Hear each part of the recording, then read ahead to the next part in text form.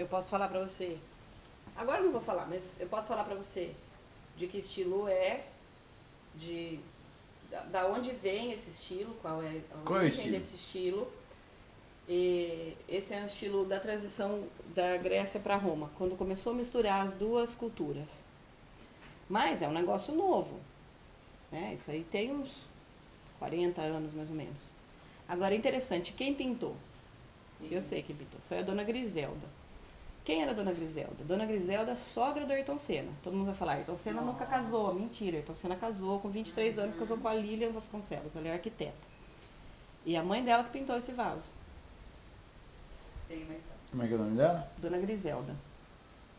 E se eu quiser Griselda comprar esse vaso, quanto você me vende? 140 reais. Então, tudo aqui tem uma história e um preço. Tudo é quase igual no risco. preço. É.